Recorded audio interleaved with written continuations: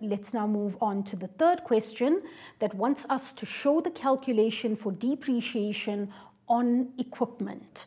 Okay, so once again, guys, remember you're going to break this down into disposal, if there were any, but there wasn't in this case, right? We're going to look at any new equipment that we purchased as well as our old or our remaining equipment. Okay, right, so let's go back to our info. Okay, so now we're focusing on equipment. So clearly I can see on the 1st of October 2007, equipment to the value of 84,000 was contributed by the owner. So clearly that 84,000 is my new equipment. You guys with me? Right, if I scroll through the rest of the information, there is absolutely nothing about selling any equipment. So clearly there's no disposal. So all I'm dealing with is new equipment. And if I look further up, I'm obviously looking at my old equipment as well. Right, so let's start with the new equipment, 84,000. The depreciation that I'm writing off is 20% on the diminishing balance method. So let's do that, right? So I've got disposal zero, new equipment 84,000, Okay, and remember guys, this was contributed.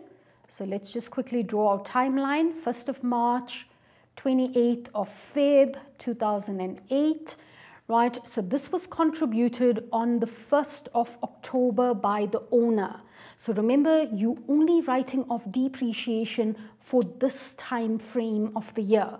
So what do I mean by only this time frame of the year? I'm looking at the month of October, November, December, January, and February. So looking at this worm that I've drawn, I'm writing off depreciation for one, two, three, four, five months.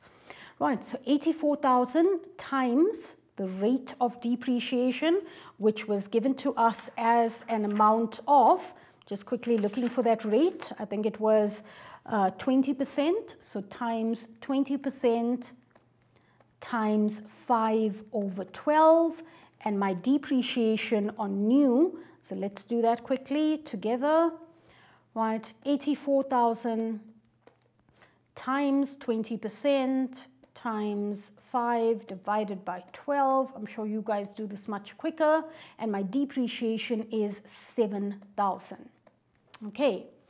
Right, on my old or remaining equipment, so remember I need my cost, minus accumulated depreciation because it is on the diminishing balance method. Then I'm going to multiply this by 20% and obviously for the entire year because the old equipment I would have owned for the entire year.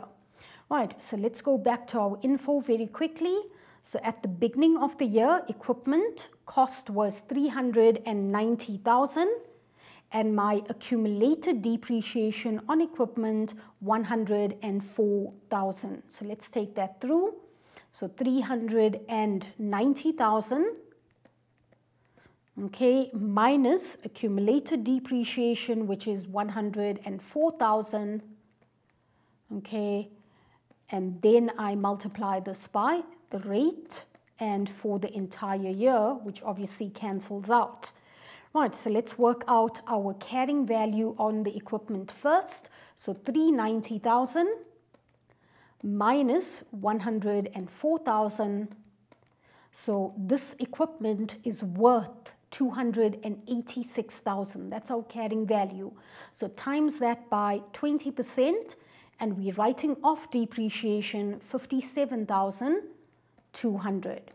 So my total depreciation for equipment will be 7,000 plus 57,200.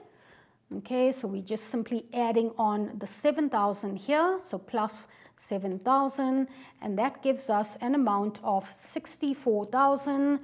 Kind of missed that, so let's go back, 64,200. Okay, right, so by calculation on equipment, depreciation for equipment is now done.